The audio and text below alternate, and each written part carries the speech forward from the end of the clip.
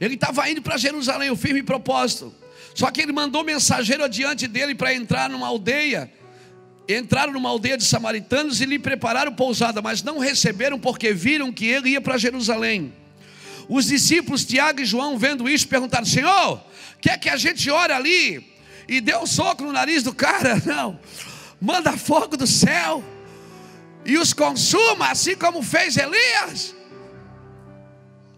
Queres isso, Senhor? Quer que a gente faça isso?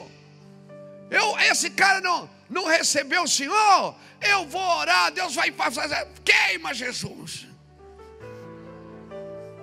Eu vou orar. O Senhor quer que a gente ore e ele se arrebente? O Senhor quer? O Senhor disse: Ô João, seu cabeção.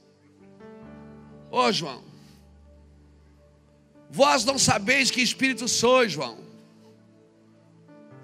Pois o filho do homem não veio para destruir a alma dos homens, mas para salvá-la. E foram para outra aldeia.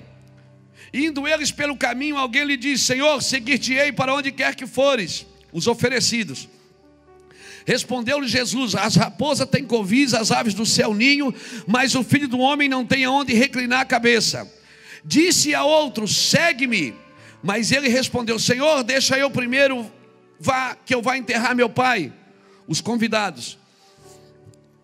Respondeu Jesus: Deixa os mortos enterrar seus mortos, porém tu vai e anuncia o reino de Deus.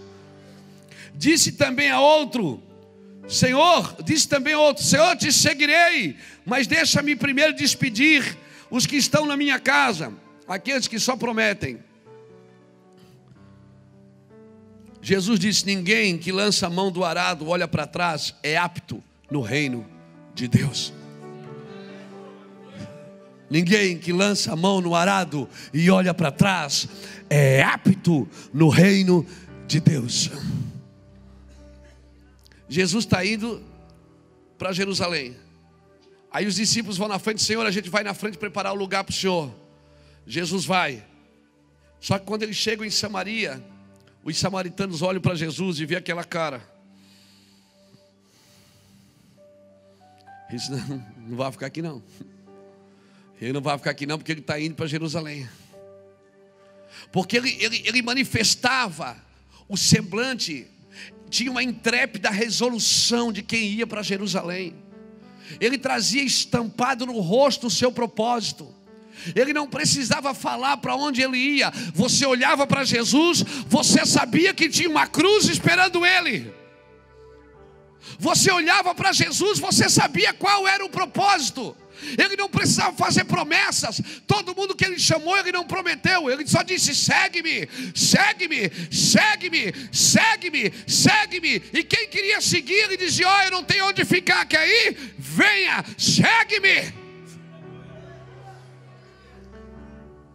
E se você não for ganho assim para Jesus, querido, quem se converte por entretenimento, quando o entretenimento acabar, vai desviar.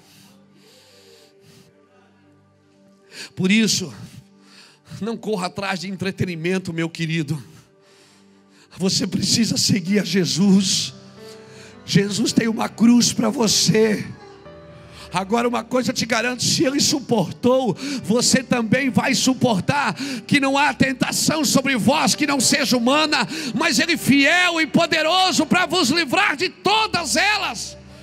Se ele venceu, você também pode vencer. Se ele pisou, você também pode pisar. Foi isso que ele prometeu.